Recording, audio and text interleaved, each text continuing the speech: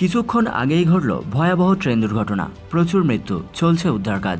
তো এই ভয়াবহ ট্রেন দুর্ঘটনাটি কোথায় ঘটেছে? এবং এই মুহূর্তে সেখানকার পরিস্থিতি কেমন রয়েছে? তো বিস্তারিত জানতে হলে অবশ্যই ভিডিওটিকে সম্পূর্ণ দেখবেন, ভালো লাগলে একটি লাইক করবেন। আর এই ধরনের লেটেস্ট ট্রেনিং খবর সবার প্রথম দেখার জন্য আমাদের চ্যানেলটিকে সাবস্ক্রাইব করে পাশের বেল আইকনটি প্রেস করে অল নোটিফিকেশনটিকে ক্লিক করে আমাদের সঙ্গে থাকবেন। তো চলুন, এক নজরে দেখে নেওয়া যাক। চীনের রেল দুর্ঘটনায় নয়জন শ্রমিক ঘটনাস্থলেই নিহত হয়েছেন। গানসু প্রদেশের চিনজাং শহরে রেল লাইনে সংস্কারের কাজের সময় একটি দ্রুতগামী ট্রেনের ধাক্কায় নিহত হন তারা।